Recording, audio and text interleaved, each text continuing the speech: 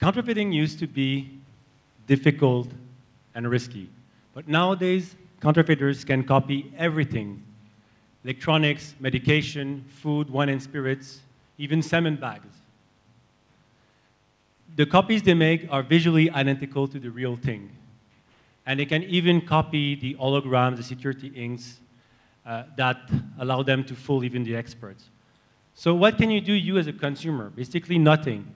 You, you can buy fakes that can alter your health and your safety. For the brand owners, they lose ten, tens of billions of dollars every year to counterfeiting because of loss of reputation and market shares. So what can we do about this problem? Well, at ScanTrust, we've invented a copy-proof QR code. We took the normal QR code, which is perfectly copyable, and we add a secure graphical layer into a QR code that gets printed on the packaging of the product to be protected from copying. And when you scan it with your mobile phone, we'll know instantly whether it's a real or a fake. And even the best copies of the counterfeiters would be detected by our mo mobile app. If you want to know more, please vote for me. So tonight, I'd like to make the announcement that we just raised 1.2 million Swiss francs, which will allow us to accelerate our business development.